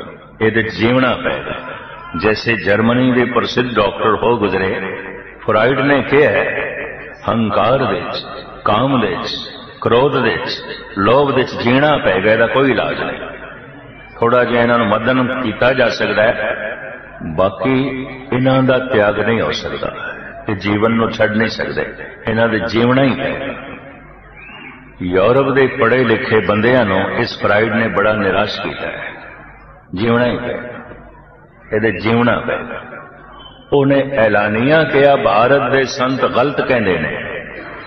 ਮਨ ਵਿੱਚ ਰਾਮ ਹੈ। ਕਹਿੰਦਾ, ਨਹੀਂ, ਮਨ ਵਿੱਚ ਕਾਮ ਹੈ। ਮਨ ਵਿੱਚ ਨਿਰੰਕਾਰ ਹੈ, ਕਹਿੰਦਾ ਕਤਈ ਨਹੀਂ, ਮਨ ਵਿੱਚ ਹੰਕਾਰ ਹੈ। ਉਹ ਕਹਿੰਦਾ ਕਹਿੰਦਾ, ਮੈਂ ਮਨ ਨੂੰ ਖੋਲ ਕੇ ਦੇਖਿਆ, ਸਿਵਾਏ ਹੰਕਾਰ ਤੋਂ ਹੋਰ ਕੁਝ ਵੀ ਨਹੀਂ ਹੈ। ਮੈਂ ਮਨ ਨੂੰ ਖੋਲ ਕੇ ਦੇਖਿਆ, ਸਿਵਾਏ ਵਾਸਨਾ ਤੋਂ ਹੋਰ ਕੁਝ ਵੀ ਨਹੀਂ ਹੈ। ਮੈਂ ਮਨ ਨੂੰ ਖੋਲ ਕੇ ਦੇਖਿਆ, ਕਹਿੰਦਾ, ਸਿਵਾਏ ਕਾਮ ਤਾਂ ਹੋਰ ਕੁਛ ਨਹੀਂ। ਐਵੇਂ ਕਹੀ ਜਾਂਦੇ ਨੇ, ਰਾਮ ਹੈ ਰਾਮ ਹੈ, ਮਨ ਤੋਂ ਜੋਤ ਸਰੂਪ ਹੈ, ਆਪਣਾ ਮੂਲ ਪਛਾਣ। ਇੱਕ ਸੀਮਾ ਤੱਕ ਉਹ ਠੀਕ ਕਹਿੰਦਾ ਹੈ। ਇੱਕ ਸੀਮਾ ਤੱਕ। ਜੈਸੇ ਸਾਗਰ ਦੇ ਉੱਪਰ ਉੱਪਰ ਤੇ ਲਹਿਰਾਂ ਨੇ, ਜਾਂ ਕੁਝ ਲੱਭਣਗੀਆਂ ਮਛਲੀਆਂ ਨੇ, ਸੰਖ ਨੇ, ਸਿਪੀਆਂ ਨੇ, ਮੋਤੀ ਤੇ ਗਹਿਰੇ ਕਰਦੇ ਕਿਸੇ ਕਿਸੇ ਦੇ ਹੱਥਾਂ। ਉੱਪਰ ਉੱਪਰ ਤੇ ਵਾਕਈ ਮਨ ਦੇ ਖਾਹਿਸ਼ਾਂ ਨੇ, ਕਾਮਨਾਵਾਂ ਨੇ, ਵਾਸ਼ਨਾਵਾਂ ਨੇ, ਜੋ ਬਹੁਤ ਗਹਿਰੇ ਡੁਬਕੀ ਲਾ ਲੈਂਦੇ ਨੇ, ਉਹਨਾਂ ਨੂੰ ਰਾਮ ਨਾਮ ਦਾ ਹੀਰਾ ਮਿਲ ਜਾਂਦਾ ਹੈ। ਤਨ ਮੇ ਮਨਵਾ ਮਨ ਮੇ ਸਾਚਾ, ਸੋ ਸਾਚਾ ਮਿਲ ਸਾਚੇ ਰਾਚਾ। ਤਨ ਵਿੱਚ ਮਨ ਹੈ, ਮਨ ਵਿੱਚ ਸੱਚ। ਹੈ ਤਨ ਵਿੱਚ ਮਨ ਹੈ, ਮਨ ਵਿੱਚ ਪ੍ਰਭੂ ਹੈ। ਮਨ ਤੋਂ ਜੋਤ ਸਰੂਪ ਹੈ। ਆਪਣਾ ਮੂਲ ਪਛਾਣ। ਖੇਡ ਸਾਰੀ ਪਹਿਚਾਣ ਆਉਂਦੀ ਹੈ। ਪਹਿਚਾਣ ਆਉਂਦੀ ਹੈ। ਜਿਸ ਨੂੰ ਮੈਂ ਨਹੀਂ ਜਾਣਦਾ, ਉਹ ਨਹੀਂ ਹੈ। ਜਿਸ ਨੂੰ ਮੈਂ ਨਹੀਂ ਸਮਝਦਾ, ਉਹ ਨਹੀਂ ਹੈ। ਜੋ ਮੇਰੇ ਚੇਤੇ 'ਚ ਨਹੀਂ, ਉਹ ਨਹੀਂ ਹੈ। ਜੋ ਮੇਰੀ ਸਿਮਰਤੀ 'ਚ ਨਹੀਂ, ਉਹ ਨਹੀਂ ਹੈ। ਜੋ ਮੇਰੀ ਸਮਝ ਦੇ 'ਚ ਨਹੀਂ, ਉਹ ਨਹੀਂ ਹੈ। ਧੰਨ ਗੁਰੂ ਅਰਜਨ ਦੇਵ ਜੀ ਮਹਾਰਾਜ ਕਹਿੰਦੇ ਨੇ हे ਪ੍ਰਭੂ ਚੱਲ ਤੇ ਪਿਆ ਤੇਰੇ ਮਾਰਗ ਤੇ, ਪਰ ਉਸ ਬੱਚੇ ਦੀ ਤਰ੍ਹਾਂ ਜਿਸਨੇ ਅੱਜ ਚੱਲਣਾ ਸਿੱਖਿਆ 2 ਸਾਲ ਬਾਅਦ 2.5 ਸਾਲ ਬਾਅਦ 1.5 ਸਾਲ ਬਾਅਦ ਬੱਚੇ ਚੱਲਦੇ ਨੇ। ਪੈਰ ਪੁੱਟਦੇ ਨੇ, ਖੜੇ ਹੁੰਦੇ ਕਿ 4-5 ਸਾਲ ਦਾ ਬੱਚਾ ਹੋਵੇ ਤੇ ਬੱਚਾ ਚਲੇ ਨਾ। ਮਾਂ-ਬਾਪ ਨੂੰ ਚਿੰਤਾ ਹੋ ਜਾਂਦੀ ਹੈ। ਗੱਲ ਕੀ ਹੈ? ਬੱਚਾ ਖੜਾ ਨਹੀਂ ਹੁੰਦਾ, ਪੈਰ ਨਹੀਂ ਪੁੱਟਦਾ। 4 ਸਾਲ ਦਾ ਹੋ 5 ਸਾਲ ਦਾ ਹੋ ਗਿਆ, ਡਾਕਟਰਾਂ ਕੋਲ ਲੈ ਜਾਂਦੇ ਵੈਦ ਕੋਲ ਲੈ ਜਾਂਦੇ ਤਿੰਨ ਸਾਲ ਦਾ ਹੋ ਗਿਆ, ਚਾਰ ਸਾਲ ਦਾ ਹੋ ਗਿਆ, ਮੂੰਹ ਅੱਖਰ ਨਹੀਂ ਨਿਕਲਦੇ ਬੋਲਦਾ ਨਹੀਂ। ਮਾਂ-ਬਾਪ ਨੂੰ ਚਿੰਤਾ ਹੋ ਜਾਂਦੀ ਹੈ। ਜਿਸ ਦਿਨ ਬੱਚੇ ਦੀ ਜ਼ਬਾਨ ਤੋਂ ਪਹਿਲਾ ਬੋਲ ਨਿਕਲਦਾ ਹੈ, ਅਕਸਰ ਮਾਂ ਹੀ ਨਿਕਲਦਾ ਹੈ। ਘਰ ਵਿੱਚ ਖੁਸ਼ੀਆਂ ਮਨਾਈਆਂ ਜਾਂਦੀਆਂ ਘਰ ਵਿੱਚ ਪ੍ਰਸ਼ਾਦ ਵੰਡਦੇ ਨੇ, ਮਿਠਾਈਆਂ ਵੰਡਦੇ ਨੇ। ਨੱਚਦੇ ਨੇ ਟੱਪਦੇ ਨੇ ਬੱਚਾ ਬੋਲਣ ਲੱਗ ਪਿਆ ਜਿਸ ਦਿਨ ਬੱਚਾ ਕਦਮ ਪੁੱਟੇ ਬੱਚੇ ਨੇ ਕਦਮ ਪੁੱਟੇ ਚੱਲਣ ਲੱਗ ਪਿਆ ਚਲੋ ਇੱਕ ਕਦਮ ਹੀ ਸਹੀ ਕਦਮ ਤੇ ਪੁੱਟੇ ਖੜਾ ਤੇ ਹੋਇਆ ਕੋਈ 30 40 ਸਾਲ ਤੋਂ ਗੁਰਦੁਆਰੇ ਆ ਰਿਹਾ ਹੋਵੇ ਤੇ ਅਜੇ ਵੀ ਸੁਰਤ ਨਹੀਂ ਚਲੀ ਸ਼ਬਦ ਦੀ ਤਰਫ ਯਕੀਨ ਜਾਣੋ ਗੁਰੂ ਨੂੰ ਵੀ ਚਿੰਤਾ ਹੋ ਜਾਂਦੀ ਹੈ ਗੱਲ ਕੀ ਹੈ ਇੰਨੇ ਚਿਰ ਹੋ ਗਿਆ ਗੁਰਦੁਆਰੇ ਆਉਂਦੇ 50 ਸਾਲ ਹੋ ਗਏ ਗੁਰਦੁਆਰੇ ਆਉਂਦੇ ਆ ਅਜੇ ਵੀ ਅੰਮ੍ਰਿਤ ਵੇਲੇ ਉੱਠ ਕੇ ਰਸਨਾ ਵਾਹਿਗੁਰੂ ਵਾਹਿਗੁਰੂ ਨਹੀਂ ਜਪਦੇ। ਗੁਰੂ ਨੂੰ ਵੀ ਚਿੰਤਾ ਹੋ ਜਾਂਦੀ, ਇਹਨੂੰ ਬੋਲਣਾ ਹੀ ਨਹੀਂ ਆਇਆ। ਬਾਬਾ ਬੋਲਣਾ ਕਿਆ ਕਹੀਏ, ਜੈਸੇ RAM ਨਾਮ ਰਵ ਰਹੀ ਇਹਨੂੰ ਬੋਲਣਾ ਹੀ ਨਹੀਂ ਆਇਆ। ਇਹ ਬੋਲਦਾ ਹੀ ਨਹੀਂ। 50 ਸਾਲ ਦਾ ਹੋ ਗਿਆ, ਬੋਲਦਾ ਨਹੀਂ। ਪਿਆ ਇਹ 30 35 ਸਾਲ ਹੋ ਗਏ ਨੇ, ਇਹਨੂੰ ਇਹ ਚੱਲਦਾ ਹੀ ਨਹੀਂ। ਚੱਲਣਾ ਤੇ ਸੁਰਤ ਨੇ, ਜਪਣਾ ਤੇ ਰਸਨਾ ਨੇ, ਰਸਨਾ ਨਾਮ ਜਪੋ ਤਬ ਮਥੀਏ ਇਨ ਬਿਦ ਅੰਮ੍ਰਿਤ ਪਾਓ, ਜਪਣਾ ਰਸਨਾ ਨਾਲ ਔਰ ਜਪਣ ਦੇ ਜੋ ਢੰਗ ਇਸਤੇਮਾਲ ਕਰਨਾ ਹੈ, ਉਹ ਗੁਰੂ ਨਾਨਕ ਨੇ ਦੱਸ ਦਿੱਤਾ ਹੈ, ਗਾਵੀਏ, ਸੁਣੀਏ, ਮਨ ਰੱਖੀਏ। ਜ਼ਬਾਨ ਗਾਇਨ ਕਰੇ ਤੇ ਮਨ ਸੁਣੇ। ਮਨ ਸਰੋਤਾ ਬਣੇ ਜ਼ਬਾਨ ਵਕਤਾ ਬਣੇ ਅਗਰ ਜ਼ਬਾਨ ਵਕਤਾ ਬਣ ਕੇ ਮਨ ਸਰੋਤਾ ਬਣ ਗਿਆ ਇਹ ਪੁਰਸ਼ ਪਹੁੰਚ ਗਿਆ ਜ਼ਬਾਨ ਵਕਤਾ ਤੇ ਬਣੀ ਹੈ ਮਨ ਸਰੋਤਾ ਨਹੀਂ ਬਣਿਆ ਇਹ ਚੱਲਤੇ ਪਏ ਚੱਲਤੇ ਪਏ ਪਹੁੰਚਿਆ ਕੋਈ ਜ਼ਬਾਨ ਵਕਤਾ ਹੀ ਨਹੀਂ ਬਣੀ ਜਪਦਾ ਹੀ ਨਹੀਂ ਇਹ ਤੇ ਉਸ ਬੱਚੇ ਦੀ ਤਰ੍ਹਾਂ ਹੋਇਆ 4-5 ਸਾਲ ਦਾ ਹੋ ਗਿਆ, ਮੂੰਹੋਂ ਬੋਲ ਨਹੀਂ ਨਿਕਲਦੇ ਪਏ ਮਾਂ-ਬਾਪ ਨੂੰ ਚਿੰਤਾ ਗੱਲ ਕੀ ਹੈ, ਬੋਲਦਾ ਨਹੀਂ। ਡਿਗਣਾ ਕੀ ਹੈ ਤੇ ਚੱਲਣਾ ਕੀ ਹੈ? ਸਤਸੰਗ ਵਿੱਚ ਆਇਆ ਚੱਲ ਪਿਆ ਕੋ ਸੰਗਤ ਵਿੱਚ ਬੈਠਾ ਹੈ, ਡਿੱਗ ਗਿਆ ਸੱਚ ਬੋਲਿਆ ਚੱਲ ਪਿਆ ਝੂਠ ਬੋਲ ਰਿਹਾ ਡਿੱਗ ਪਿਆ ਦਾਨ ਕੀਤਾ ਹੈ ਚੱਲ ਪਿਆ ਬੇਈਮਾਨੀ ਕਰ ਰਿਹਾ ਡਿੱਗ ਪਿਆ ਅੰਮ੍ਰਿਤ ਦੀ ਪਿਆਸ ਪੈਦਾ ਹੋਈ ਹੈ, ਚੱਲ ਪਿਆ ਸ਼ਰਾਬ ਦੀ ਤਲਬ ਜਾਗ ਪਈ ਹੈ, ਡਿੱਗ ਪਿਆ ਜ਼ਿੰਦਗੀ ਭਰ ਇਹ ਚੱਲਣਾ, ਡਿੱਗਣਾ ਚੱਲਣਾ, ਡਿੱਗਣਾ, ਇਹੀ ਹੁੰਦਾ ਹੱਥ ਦੇ ਵਿੱਚ ਗੁਟਕਾ ਹੈ, ਚੱਲ ਪਿਆ ਪਰ ਗੰਦੇ ਗੀਤ ਅਲਾ ਪਿਆ ਡਿੱਗ ਪਿਆ ਤੁਸੀਂ ਦੇਖ ਸਕਦੇ ਹੋ, ਚੱਲਦੇ ਨੇ, ਡਿੱਗਦੇ ਨੇ, ਚੱਲਦੇ ਸਾਰੀ ਜ਼ਿੰਦਗੀ। ਚੱਲ ਪਏ ਨੇ ਡਿੱਗ ਪਏ ਨੇ ਕਦਮ ਅੱਗੇ ਤਰਫ ਉੱਡਦੇ, ਡਿੱਗਦੇ ਪਿੱਛੇ ਦੀ ਤਰਫ। ਫਿਰ ਉੱਥੇ ਹੀ ਆ ਜਾਂਦੇ ਨੇ, ਜਿੱਥੋਂ ਚੱਲੇ। ਹੁਣ ਸਾਰਾ ਦਿਨ ਕੋਈ ਮਨੁੱਖ ਇੱਕ ਕਦਮ ਅੱਗੇ ਤੇ ਇੱਕ ਕਦਮ ਪਿੱਛੇ ਪੁੱਟੇ, ਕਿੱਥੇ ਪਹੁੰਚੇਗਾ? ਕਿਧਰੇ ਪਹੁੰਚੇਗਾ? ਚਲ ਚਲ ਕੇ ਥਕੇਗਾ ਚਲ ਚਲ ਕੇ ਟੁੱਟੇਗਾ, ਪਹੁੰਚੇਗਾ ਕਿਧਰੇ ਨਹੀਂ? ਦਾਅਵੇ ਨਾਲ ਮੈਂ ਕਹਿ ਸਕਦਾ 40 40 ਸਾਲ ਤੋਂ ਜਿਹੜੇ ਗੁਰਦੁਆਰੇ ਆ ਰਹੇ ਨੇ 40 ਸਾਲ ਪਹਿਲੇ ਕਰੋਦੀ ਸਨ, ਅੱਜ ਵੀ ਕਰੋਦੀ ਨੇ। 40 ਸਾਲ ਪਹਿਲੇ ਲੋਭੀ ਸਨ, ਅੱਜ ਵੀ ਲੋਭੀ ਨੇ। 40 ਸਾਲ ਪਹਿਲੇ ਝੂਠੇ ਸਨ, ਅੱਜ ਵੀ ਝੂਠੇ ਨੇ। ਔਰ 40 ਸਾਲ ਪਹਿਲੇ ਵਾਸ਼ਨਾ ਦੇ ਭਰੇ ਹੋਏ ਸਨ, ਅੱਜ ਵੀ ਨੇ। ਕੱਲ ਤੇ ਕੁਝ ਵੀ ਨਾ ਬਣੇ। ਮਿਹਨਤ ਤੇ ਬੜੀ ਕੀਤੀ, ਥੱਕੇ ਵੀ ਨੇ, ਟੁੱਟੇ ਵੀ ਨੇ। 40 ਸਾਲ ਪਹਿਲੇ ਹੰਕਾਰੀ ਸਨ ਅੱਜ ਵੀ ਹੰਕਾਰੀ ਖੇਡ ਤੇ ਕੁਝ ਵੀ ਨਾ ਚੱਲੇ ਨੇ ਚੱਲ ਚੱਲ ਕੇ ਥੱਕੇ ਨੇ ਟੁੱਟੇ ਨੇ ਪਹੁੰਚੇ ਕਿਧਰੇ ਵੀ ਕਿਧਰੇ ਵੀ हे ਪ੍ਰਭु ਮੈਂ ਤੇ ਚੱਲਣਾ ਤੇ ਡਿੱਗਦਾ ਤੂੰ ਮੇਰ ਕਰ ਤੂੰ ਮੇਰੀ ਬਾਹ ਪਕੜ ਤਾਂ ਹੀ ਖੇਡ ਬਣੇ ਦਾਸ ਗੋਬਿੰਦ ਫਤਿਹ ਸਤਗੁਰ ਕੀ ਬਾਹਾਂ ਦੇ ਬਾਹਾਂ ਦੇ ਮੋਹਿ ਨਿਸਤਾਰੋ ਗੁਰੂ ਗੋਬਿੰਦ ਸਿੰਘ ਜੀ ਇਹ ਪ੍ਰਭੂ ਆਪਣੀ ਬਾਹ ਦੇ ਆਪਣੀ ਬਾਹ ਪਕੜਾ ਤੇ ਡਿੱਗਣ ਤੋਂ ਬਚੀਏ ਮੇਰੇ ਕੋਲ ਉਹ ਕੰਨ ਨਹੀਂ ਜੋ ਤੇਰੇ ਬੋਲ ਸੁਣ ਸਕਣ। ਮਨੁੱਖ ਕੋਲ ਜਿਹੜੇ ਕੰਨ ਨੇ, ਇਹ ਪੁੱਤਰ ਨੂੰ ਸੁਣ ਸਕਦੇ ਨੇ, ਮਿੱਤਰ ਨੂੰ ਸੁਣ ਸਕਦੇ ਨੇ, ਪਤਨੀ ਨੂੰ ਸੁਣ ਸਕਦੇ ਨੇ, ਪਤੀ ਨੂੰ ਸੁਣ ਸਕਦੇ ਨੇ, ਭਰਾ ਨੂੰ ਸੁਣ ਸਕਦੇ ਨੇ, ਮਿੱਤਰਾਂ ਨੂੰ ਸੁਣ ਸਕਦੇ ਨੇ, ਗੁਰੂ ਨੂੰ ਨਹੀਂ ਸੁਣਦੇ। ਇਹ ਹਕੀਕਤ ਹੈ। ਮਹਾਰਾਜ, ਮੇਰੇ ਕੋਲ ਉਹ ਕੰਨ ਨਹੀਂ, ਸਤਿਗੁਰ ਕਹਿੰਦੇ ਜੋ ਤੈਨੂੰ ਸੁਣ ਸਕਾਂ। ਮੇਰੇ ਕੋਲ ਉਹ ਜ਼ਬਾਨ ਵੀ ਕੋਈ ਨਹੀਂ, ਜੋ ਮੈਂ ਆਪਣੇ ਬੋਲ ਤੇਰੇ ਤੱਕ ਪਹੁੰਚਾ ਸਕਾਂ। ਮੇਰੇ ਬੋਲ ਪੁੱਤਰਾਂ ਤੱਕ ਪਹੁੰਚਦੇ ਨੇ, ਪਰਿਵਾਰ ਤੱਕ ਪਹੁੰਚਦੇ ਨੇ, ਮਿੱਤਰਾਂ ਤੱਕ ਪਹੁੰਚ ਜਾਂਦੇ ਨੇ, ਪੜੋਸੀਆਂ ਤੱਕ ਪਹੁੰਚ ਜਾਂਦੇ ਨੇ। ਇਹ ਪ੍ਰਭੂ ਤੇਰੇ ਤੱਕ ਨਹੀਂ ਪਹੁੰਚ ਮੇਰੇ ਕੋਲ ਇਤਨੀ ਤੌਫੀਕ ਹੀ ਕੋਈ ਨਹੀਂ ਕਿ ਮੈਂ ਬੋਲ ਤੇਰੇ ਤੱਕ ਪਹੁੰਚਾਵਾਂ। पहुंचती ये गल रब तक रही दिल से जो बात निकलती है असर रखती है पर नहीं ताकते प्रवास मगर रखती है जाका कहा दरगे चले ਮਹਾਰਾਜ ਕਹਿੰਦੇ ਜਿਹਦਾ ਬੋਲਿਆ ਹੋਇਆ ਦਰਗਾਹ ਦੇ ਚੱਲਦਾ ਹੈ ਪਰਮਾਤਮਾ ਸੁਣਦਾ ਹੈ ਗੁਰੂ ਅਰਜਨ ਦੇਵ ਜੀ ਮਹਾਰਾਜ ਕਹਿੰਦੇ ਮੈਂ ਐਵੇਂ ਨਹੀਂ ਬੋਲਣਾ ਦੇ ਕੰਨ ਸੁਣੋ ਅਰਦਾਸ ਜੀਓ ਮੈਂ ਤੇਰੇ ਕੰਨ ਵਿੱਚ ਗੱਲ ਕਰਨੀ ਹੈ ਥੋੜੀ ਕਰਨੀ ਤੋ ਸੁਣ ਤੇ ਮੈਂ ਬੋਲ ਭਗਤ ਬੋਲਦੇ ਨੇ ਪ੍ਰਭੂ ਸੁਣਦਾ ਹੈ ਕਿਉਂ ਉਹਨਾਂ ਦੇ ਬੋਲ ਪ੍ਰਭੂ ਤੱਕ ਪਹੁੰਚਦੇ ਨੇ ਦਿਲ ਚੋਂ ਨਿਕਲੀ ਹੋਈ ਗੱਲ ਪ੍ਰਮਾਤਮਾ ਤੱਕ ਪਹੁੰਚਦੀ ਹੈ ਜ਼ਬਾਨ ਤੋਂ ਨਿਕਲੀ ਹੋਈ ਗੱਲ ਤੇ ਸਿਰਫ ਕੰਨਾਂ ਤੱਕ ਪਹੁੰਚਦੀ ਹੈ नहीं पहुंचती दिल तक नहीं पहुंचती दिल से जो बात निकलती है असर रखती है पर नहीं ताकते प्रवास मगर रखती है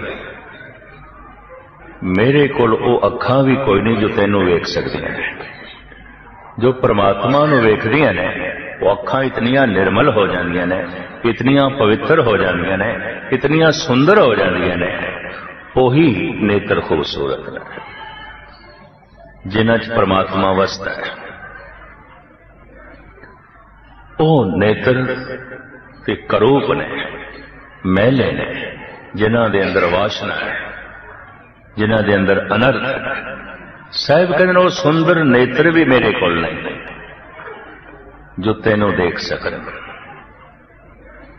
ਗੁਰੂ ਗ੍ਰੰਥ ਸਾਹਿਬ ਦੇ ਪਹਿਲੇ ਟੀਕਾਕਾਰ ਭਾਈ ਗੁਰਦਾਸ ਨੇ ਆਪ ਦੀ ਗਿਆਤ ਲਈ ਅਰਜ਼ ਕਰਾਂ, ਮੇਰੇ ਦੇਖੇ, ਮੇਰੀ ਸਟੱਡੀ ਦੇ ਜੋ ਆਇਆ, ਗਾਲਬਨ 150 ਸ਼ਬਦਾਂ ਦੇ ਅਰਥ ਭਾਈ ਗੁਰਦਾਸ ਜੀ ਨੇ ਆਪ ਕੀਤੇ ਨੇ।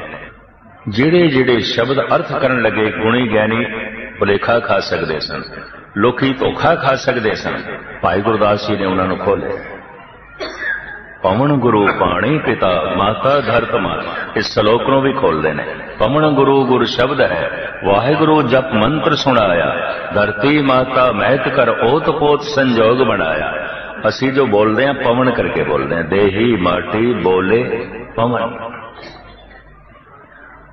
ਪਵਨ ਨਾ ਹੋਵੇ ਬੋਲ ਨਹੀਂ ਸਕਦੇ। ਦੇਖੋ, ਲਾਸ਼ ਪਈ ਆਉਂਦੀ ਪਾਣੀ ਤੇ ਸਰੀਰ ਚ ਹੈ, ਮਿੱਟੀ ਦਾ ਢਾਂਚਾ ਵੀ ਪਿਆ ਪਵਨ ਨਹੀਂ ਰਹਿ ਗਈ ਤਾਂ ਬੋਲਣਾ ਕੋਈ ਨਹੀਂ।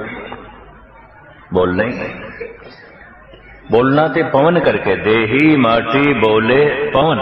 ਬੋਲਣ ਹਾਰ ਪਰਮ ਗੁਰ ਇਹ ਬੋਲ ਕੇ ਹੀ ਸੰਬੰਧ ਜੁੜਦੇ ਨੇ, ਬੋਲ ਕੇ ਹੀ ਸੰਬੰਧ ਟੁੱਟਦੇ ਨੇ।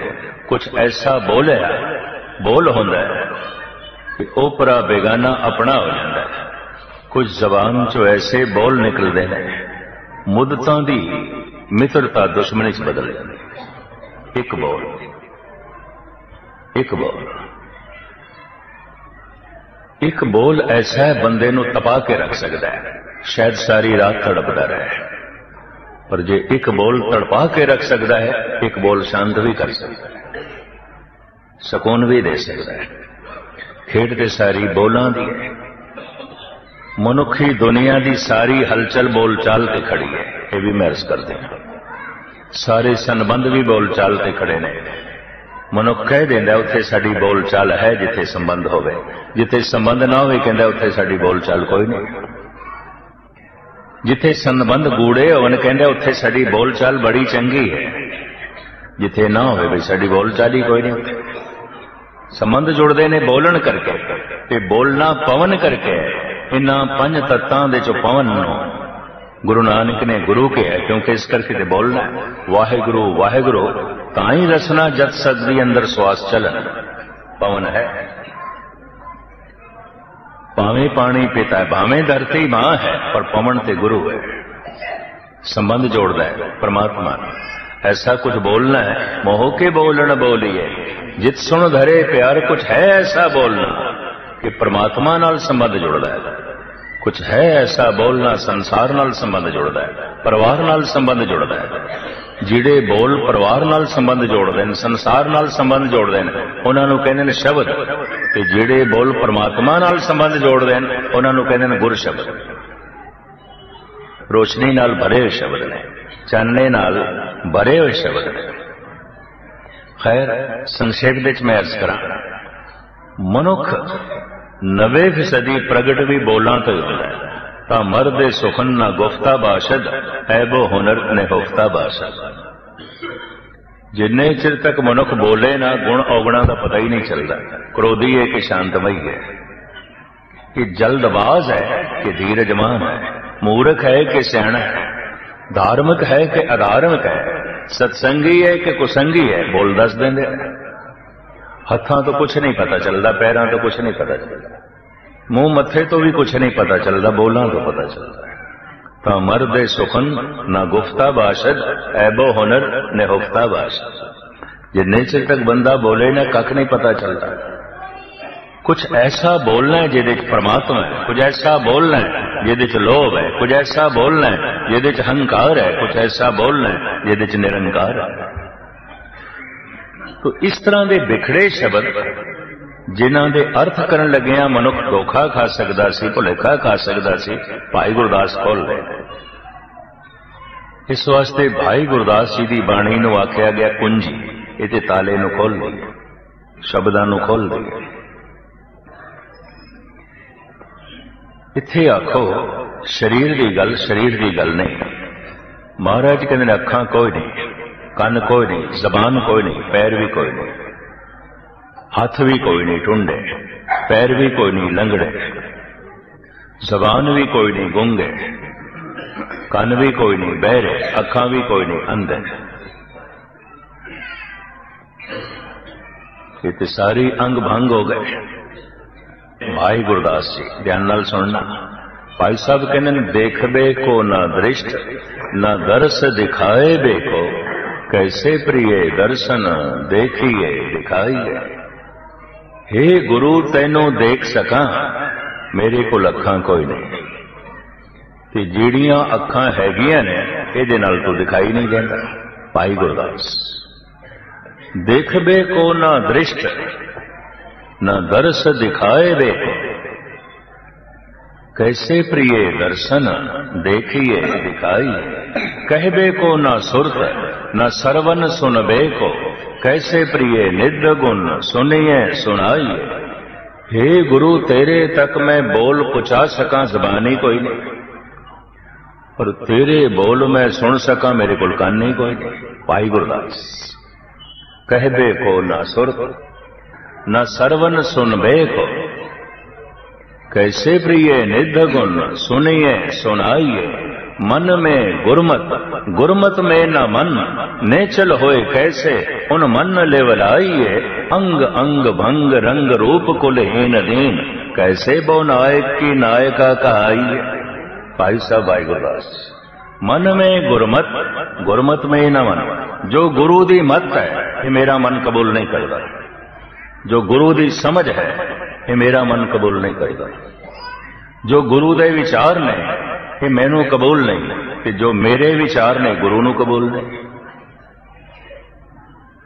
ਧਿਆਨ ਨਾਲ ਸੁਣਨ ਵਾਲੀ ਜੋ ਮੇਰੀ ਸੋਚਣੀ ਹੈ, ਗੁਰੂ ਨੂੰ ਪ੍ਰਵਾਨ ਨਹੀਂ। ਗੁਰੂ ਕਹਿੰਦਾ ਠੀਕ ਨਹੀਂ ਹੈ।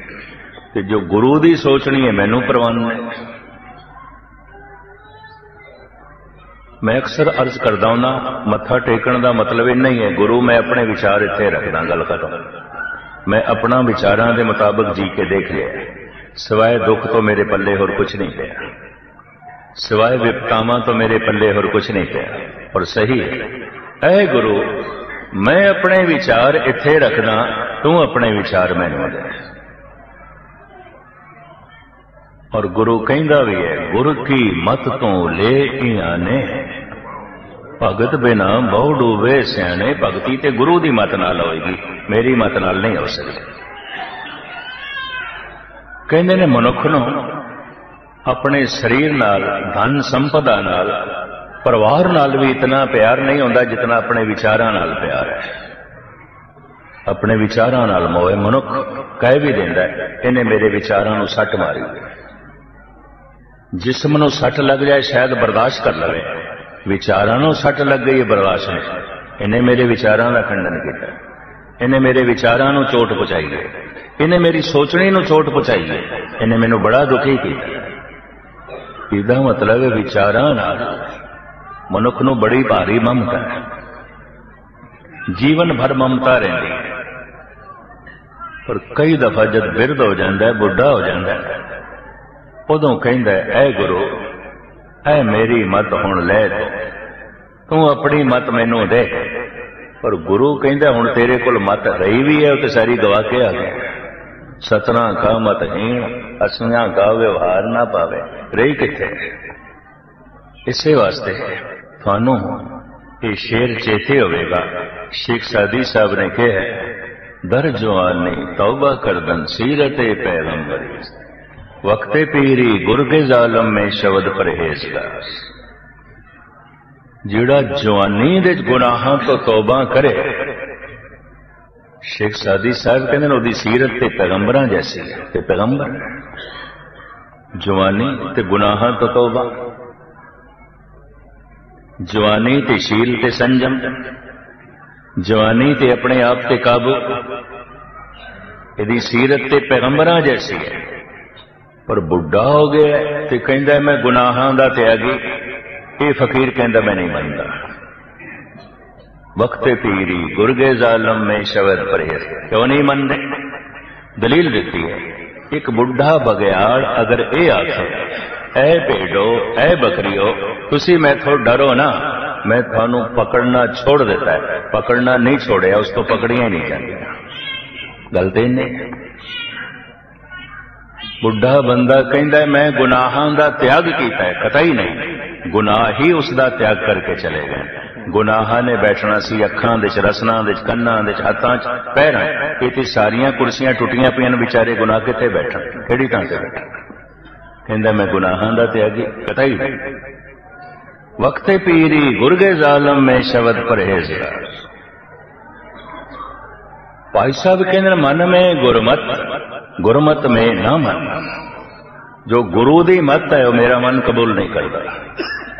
और जो मेरी मत है, वो गुरु नहीं कबूल करता। जो मेरी सोचनी है, ये गुरु नु प्रवान नहीं है।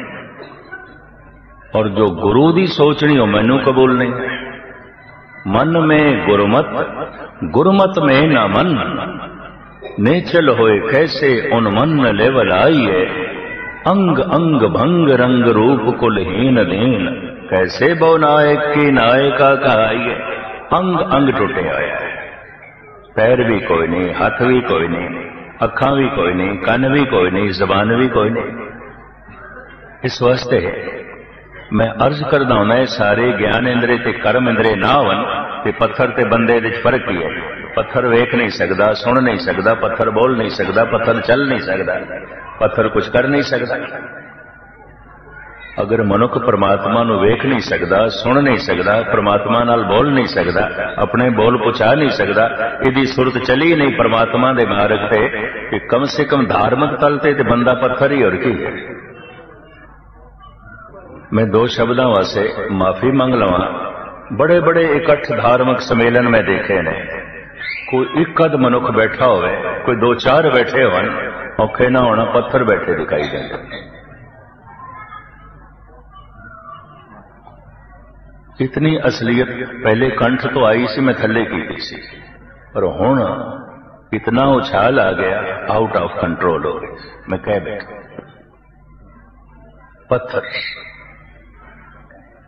ਸੁਲਤਾਨਪੁਰ ਦੇ ਨਵਾਬ ਨੇ ਗੁਰੂ ਨਾਨਕ ਨੂੰ ਕਿਹਾ, ਸੁਣਿਆ, ਤੁਸੀਂ ਕਹਿੰਦੇ ਹੋ, ਅੱਲਾ ਤੇ ਰਾਮ ਇੱਕੋ ਹੀ ਹੈ। ਸਤਿਗੁਰੂ ਕਹਿਣ ਲੱਗੇ, ਕਿਹੜੀ ਸ਼ੱਕ ਦੀ ਗੱਲ ਹੈ? ਕੋਈ ਨੇ। ਤੇ ਚਲੋ ਸਾਡੇ ਨਾਲ, ਨਮਾਜ਼ ਪੜੋ ਫਿਰ। ਚਲੋ। ਮਹਾਰਾਜ ਕਹਿਣ ਲੱਗੇ, ਚਲੋ, ਹੁਣੇ ਹੀ ਚੱਲ। ਇਸ਼ਾ ਦੀ ਨਮਾਜ਼ ਪੜਦੇ ਆ ਚੱਲ। ਵਕਤ ਹੋ ਗਿਆ। ਇਤਨੀ ਉਮੀਦ ਨਵਾਬ ਨੂੰ ਵੀ ਨਹੀਂ ਸੀ। ਚੱਲ ਪੈਣਾ ਚੱਲ ਪੈ ਸਾਰੇ ਸੁਲਤਾਨਪੁਰ ਦੇ ਖਬਰ ਪਹੁੰਚ ਗਈ, ਬਾਬਾ ਨਮਾਜ਼ ਪੜਨ ਲਈ ਜਾ ਰਿਹਾ ਹੈ, ਨਵਾਬ ਦੀ ਮਸਜਿਦ ਵਿੱਚ। ਔਰ ਨਵਾਬ ਦੇ ਨਾਲ ਜਾ ਰਿਹਾ। ਬਹੁਤ ਸਾਰਿਆਂ ਨੂੰ ਤੇ ਚਿੰਤਾ ਹੋਈ, ਬਾਬੇ ਨੇ ਮਜ਼ਹਬ ਬਦਲ ਲਿਆ। ਬੇਬੇ ਨਾਨਕੀ ਮੁਸਕਰਾਉਂਦੀ ਰਹੀ। ਕਹਿੰਦੇ ਨੇ, ਕ੍ਰਿਸ਼ਨ ਦੀ ਪਹਿਲੀ ਭਗਤਣੀ ਜਿਸ ਦਾ ਪੂਰਾ ਅਟਲ ਵਿਸ਼ਵਾਸ ਸੀ, ਉਹ ਦ੍ਰੋਪਦੀ ਸੀ। ਜਿਹਨੇ ਸ਼ਰਧਾ ਲੈਂਦੀ ਜਿਹਨੇ ਮੁਹੰਮਦ ਸਾਹਿਬ ਤੇ ਸਭ ਤੋਂ ਪਹਿਲੇ ਸ਼ਰਧਾ ਲੈਂਦੀ ਉਹ ਖਦੀਜਾ ਸੀ, ਉਹਨਾਂ ਦੀ ਪਤਨੀ ਸੀ। ਜਿਸ ਨੇ ਸਭ ਤੋਂ ਪਹਿਲੇ ਗੁਰੂ ਨਾਨਕ ਤੇ ਸ਼ਰਧਾ ਲੈਂਦੀ ਉਹ ਬੇਬੇ ਨਾਨਕੀ ਸੀ ਇਥੋਂ ਸਿੱਖੀ ਚਲੀ ਖਦੀਜਾ ਤੋਂ ਇਸਲਾਮ ਚਲਿਆ ਜੇ ਕਿਧਰੇ ਉਸ ਦੀ ਪਤਨੀ ਇਨਕਾਰ ਕਰ ਦਿੰਦੀ ਕਿ ਇਸਲਾਮ ਨਹੀਂ ਵਧਣਾ ਸੀ ਇਹ ਵੀ ਮੈਂ ਅਰਜ਼ ਕਰ ਦਿਆਂ ਉਹਨੇ ਕਬੂਲ ਕਰ ਲਿਆ ਮੁਹੰਮਦ ਇਹ ਬੋਲ ਤੁਹਾਡੇ ਨਹੀਂ ਤੇ ਖੁਦਾ ਦੇ ਲੱਗਦੇ ਤੇ ਮੁਹੰਮਦ ਸਾਹਿਬ ਵੀ ਕਹਿਣ ਲੱਗੇ ਖਦੀਜਾ ਤੂੰ ਠੀਕ ਜਾਣਿਆ ਮੈਂ ਤੇ ਚੁੱਪ ਕਰ ਗਿਆ ਬਿਲਕੁਲ ਚੁੱਪ ਕਰ ਗਿਆ ਮੈਨੂੰ ਤਾਂ ਹੁਣ ਬੋਲਣਾ ਹੀ ਨਹੀਂ ਆਉਂਦਾ। ਪਤਾ ਨਹੀਂ ਖੁਦਾ ਕੀ ਬੋਲਦਾ ਗੁਰੂ ਨਾਨਕ ਕਹਿੰਦੇ ਨੇ, ਹੋ ਆਖੋ ਬੋਲਣਾ ਜਾਣਦਾ। ਹੋ ਕਿਹਾ, ਸਭ ਹੁਕਮ ਆਓ ਜੀਓ। ਮੈਨੂੰ ਬੋਲਣਾ ਨਹੀਂ ਆਉਂਦਾ। ਮੈਂ ਨਹੀਂ ਬੋਲਦਾ। ਪਤਾ ਨਹੀਂ ਰੱਬ ਕੀ ਬੋਲਦਾ। ਪਤਾ ਨਹੀਂ ਪਰਮਾਤਮਾ ਕੀ ਬੋਲਦਾ। ਜੈਸੇ ਮੈਂ ਆਵੇ, ਕਸਮ ਕੀ ਬਾਣੀ ਕੈਸੜਾ ਕਰੀ ਗਿਆਨ ਵੇ ਲਾੜਾ ਇਹ ਸ਼ਰਦਾ ਸਭ ਤੋਂ ਪਹਿਲੇ ਬੇਬੇ ਨਾਨਕੀ ਦੀ ਸੀ। ਸਿੱਖੀ ਉੱਥੋਂ ਚਲੀ। ਖੈਰ ਬਾਬਾ ਮਸਜਿਦ ਵਿੱਚ ਪਹੁੰਚ ਗਏ, ਕਤਾਰ ਵਿੱਚ ਖੜੇ ਹੋ ਗਏ। ਇਮਾਮ ਨੇ ਰੁਕਾਤ ਪੜਨੀ ਸ਼ੁਰੂ ਕੀਤੀ। ਸਾਰਿਆਂ ਨੇ ਸਜਦਾ ਕੀਤਾ, ਗੁਰੂ ਨਾਨਕ ਖੜੇ ਖੜੇ ਜਨਮ ਸਾਖੀ ਦੇ ਬੜੇ ਵਿਸਤਾਰ ਨਾਲ ਇਹ ਗਾਥਾ ਲਿਖੀ ਔਰ ਵੱਖ-ਵੱਖ ਢੰਗ ਨਾਲ ਲਿਖੀ। ਸੁਲਤਾਨਪੁਰ ਦੇ ਨਵਾਬ ਨੇ ਅੱਖਾਂ ਖੋਲ ਕੇ ਦੇਖ ਲਿਆ ਕਿ ਬਾਬੇ ਨੇ ਸਜਦਾ ਨਹੀਂ ਕੀਤਾ, ਜੋ ਕਿ ਨਹੀਂ ਹੈ। ਕਿ ਨਮਾਜ਼ ਨਹੀਂ ਪੜ ਰਹੇ ਨਮਾਜ਼ ਪੜਨ ਤੋਂ ਬਾਅਦ ਸਮਾਪਤੀ ਤੋਂ ਬਾਅਦ ਨਵਾਬ ਕਹਿਣ ਲੱਗਾ ਸਭ ਗੱਲਾਂ ਹੀ ਗੱਲਾਂ ਨੇ RAM ਇੱਕ ਹੋਇਆ ਅੱਲਾ ਇੱਕ ਹੋਇਆ ਤੁਸੀਂ ਕਿਹਾ ਸੀ ਸਾਡੇ ਨਾਲ ਨਮਾਜ਼ ਪੜੋਗੇ ਤੁਸੀਂ ਤੇ ਨਹੀਂ ਪੜ੍ਹੀ ਮਹਾਰਾਜ ਕਹਿਣ ਲੱਗੇ ਸਾਡਾ ਵਾਅਦਾ ਸੀ ਤੇਰੇ ਨਾਲ ਨਮਾਜ਼ ਪੜ੍ਹਨੀ ਸੀ ਤੇਰੇ ਨਾਲ ਮਿਲ ਕੇ ਘੋੜੇ ਨਹੀਂ ਖਰੀਦਣੇ। ਸੰਤੂ ਤੇ ਕਾਬਲ ਦੇ ਘੋੜੇ ਪਿਆ ਖਰੀਦ ਰਹੇ ਆਪਾਂ ਘੋੜੇ ਨਹੀਂ ਖਰੀਦਣੇ। ਆਪਾਂ ਤਾਂ ਨਮਾਜ਼ ਪੜ੍ਹਨੀ ਸੀ। ਸਾਡਾ ਵਾਅਦਾ ਇਹ ਸੀ, ਤੇਰੇ ਨਾਲ ਨਮਾਜ਼ ਪੜ੍ਹਨੀ। ਤੇਰੇ ਨਾਲ ਘੋੜੇ ਨਹੀਂ ਖਰੀਦਣੇ। ਤੂੰ ਘੋੜੇ ਖਰੀਦਦਾ ਪਿਆ ਸੀ ਕਿ ਨਮਾਜ਼ ਪਿਆ ਪੜਦਾ ਸੀ? ਹੈਰਾਨ ਹੋ ਗਿਆ ਨਵਾਬ। ਨਮਾਜ਼ ਪੜਦਾ ਘੋੜੇ ਪਿਆ ਖਰੀਦਦਾ ਸੀ। ਕੋਈ ਮੰਦਰ ਦੇ ਪੂਜਾ ਪਾਠ ਕਰਦੇ ਆ, ਆਪਣੇ ਘੋੜੇ ਖਰੀਦਦਾ ਕੋਈ ਗੁਰਦੁਆਰੇ ਬੈਠਾ ਕਥਾ ਕੀਰਤਨ ਸੁਣਦੇ ਆ, ਪਾਠ ਕਰਦੇ ਆ, ਆਪਣੇ ਆਪਣੇ ਘੋੜੇ ਲੋਕੀ ਖਰੀਦਦੇ ਨੇ, ਕੌਣ ਗੁਰੂ ਨਾਲ ਜੁੜਦਾ? ਸਭ ਆਪਣੇ ਆਪਣੇ ਘੋੜੇ ਖਰੀਦਦੇ ਆਪਣੀ ਆਪਣੀਆਂ ਗੱਲਾਂ 'ਚ ਉਲਝੇ ਹੋਏ ਹੁੰਦੇ ਨੇ ਆਪਣੇ ਆਪਣੇ ਝਮੇਲਿਆਂ ਵਿੱਚ ਫਸੇ ਪਏ ਹੁੰਦੇ ਨੇ ਕਦੀ ਕਦਾਈ ਕੋਈ ਪੁਰਸ਼ ਪ੍ਰਭੂ ਦੀ ਉਸਤਤੀ ਦੇ ਜੁੜੇ। ਹੁਣ ਇੱਥੇ ਪ੍ਰਸ਼ਨ ਪੈਦਾ ਹੁੰਦਾ ਹੈ। ਉਹ ਹੱਥ ਕਿਹੜੇ ਨੇ? ਜਿਹੜੇ ਸੇਵਾ ਕਰਦਾ, ਉਹ ਪੈਰ ਕਿਹੜੇ ਨੇ ਜਿਹੜੇ ਚੱਲ ਪੈਂਦੇ? ਉਹ ਜ਼ਬਾਨ ਕਿਹੜੀ? ਉਹ ਅੱਖਾਂ ਕਿਹੜੀਆਂ ਨੇ? ਗੁਰੂ ਨਾਨਕ ਨੇ ਉਹਨਾਂ ਦਾ ਖੁਲਾਸਾ ਕੀਤਾ ਹੈ, ਭੈ ਕੇ ਚਰਨ। ਮਨੁੱਖ ਦੇ ਅੰਦਰ ਸਮਾਜ ਦਾ ਡਰ ਹੈ, ਕਾਨੂੰਨ ਦਾ ਡਰ ਹੈ, ਲੇਕਿਨ ਪ੍ਰਮਾਤਮਾ ਦਾ ਡਰ ਨਹੀਂ। ਸਾਹਿਬ ਕਹਿੰਦੇ ਟੁੰਡਾ ਹੈ ਦੇ ਕੋਲ ਹੱਥ ਹੀ ਕੋਈ ਨਹੀਂ, ਪ੍ਰਮਾਤਮਾ ਦਾ ਤੇ ਡਰ ਹੀ ਨਹੀਂ। ਸਮਾਜ ਤੋਂ ਡਰਦਾ ਹੈ। ਕਾਨੂੰਨ ਤੋਂ ਡਰਦਾ ਹੈ। ਰੱਬ ਦਾ ਤੇ ਕੋਈ ਡਰ ਹੀ ਨਹੀਂ। ਪਰਮਾਤਮਾ ਦਾ ਵਾਕਈ ਡਰ ਨਹੀਂ ਦੇਖੋ ਗੋਲਕ ਨੂੰ ਵੀ ਤਾਲੇ ਲਾਏ ਨਾ ਤਿੰਨ ਤਿੰਨ ਚਾਰ ਚਾਰ ਲਾਏ। ਇਹਦਾ ਮਤਲਬ ਚੋਰੀ ਦੇ ਇੱਥੇ ਵੀ ਡਰ ਹੈ।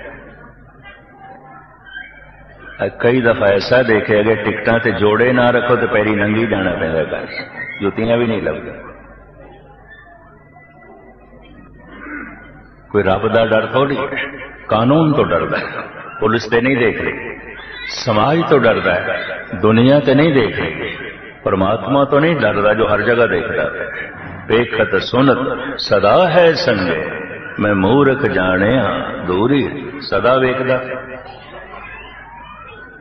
ਭੈ ਕੇ ਚਰਨ ਕਰ ਭਾਵ ਕੇ, ਪੈਰ ਭਾਵਨਾ ਦੇ ਬਣਾ ਭਾਵਨਾ ਸ਼ਬਦ ਦੋ ਅਵਸਥਾਵਾਂ ਤੋਂ ਬਣਦਾ ਹੈ। ਪ੍ਰੇਮ ਤੋਂ ਤੇ ਭਰੋਸੇ ਤੋਂ।